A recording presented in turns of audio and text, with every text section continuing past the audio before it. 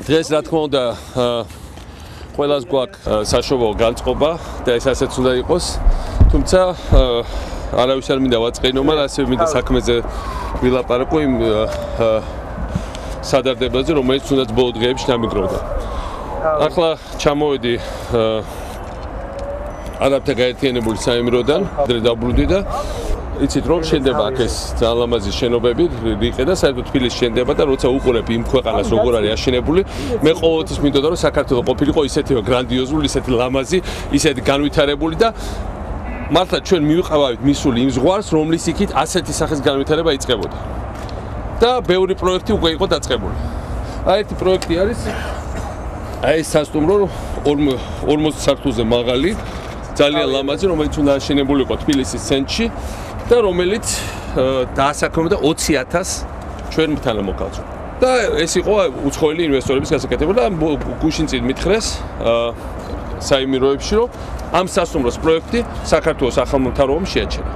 ესე იგი 20000 ადამიანი დაკარგეს დატოვეს სამუშაო ადგილებს გარდა. სრულიად აბსურდული გამოგონილი რაღაცა საბაბით. ხობის წყალზე უნდა დაწყებულიყო მუშაობა 1 იანვარს ჰიდროელექტროსადგურის შენებლობაზე და სამწუხაროდ შევიტყე რომ ეს ხობის წყალის ჰიდროელექტროსადგურის გაჩერდა.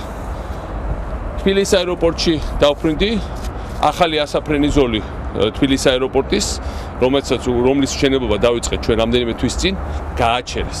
ეს არის თუ ეს არ გაკეთდება საქართველოს დაკარგავს ასობით 1000 ახალ ტურისტს, ესე იგი შემოსავალს ძალიან ჩვენი ბევრი მოქალაქის. ხობის წვალზე ელექტროსადგური ეს არის დამატებით 10000 სამუშაო ადგილი. როგორც მოგახსენეთ, ეს არის 20000 სამუშაო ადგილი. ერთ სიტყვით, მარტო ახალი წლის პირველ დღეებში გავიქე, რომ რამდენიმე 10000 ჩვენ მოქალაქეს დააკარგვეს სამუშაო ჩვენ ოჯახს იმისათვის, რომ ახალ მთავრობა მიიღო ასეთი გადაწყვეტილება. მე მართლა მგონია იმედი მაქვს, რომ ეს არ არის რაღაც შეგდებული პოლიტიკა ქვეყანაში აღშენებლობის შეჩერების და გრევისაც, იმიტომ თქვენ იცით რომ ამ სილამაზესაც აქ ემუქრებიან განგრევით, არა მხოლოდ ის რომ ახალს ვერაფერს ვერ აშენებთ. ეს რო აშენებულიყო, იქნებოდა ერთ-ერთი ყველაზე გრანდიოზული შენობა ევროპაში და ჩვენ არავის შესაშველი არაფერი არ გვქნებოდა, როცა ესეთი შენობები, ესეთი ქალაქები, ხალხი დასაქმებული ყავს, შემოსავალი შემოდის, ტურიზმი ვითარდება, ქვეყანა წავიდოდა წინ. ქვეყანა აუცილებლად წავა წინ. მე ვიდა ვისურვო რომ ეს ყველაფერი აღმოჩნდეს დროებითი გაუგებრობა და ხალხი შემდეგ ახალწელს შეხვდეს ბევრად უფრო ყვაყოფილი.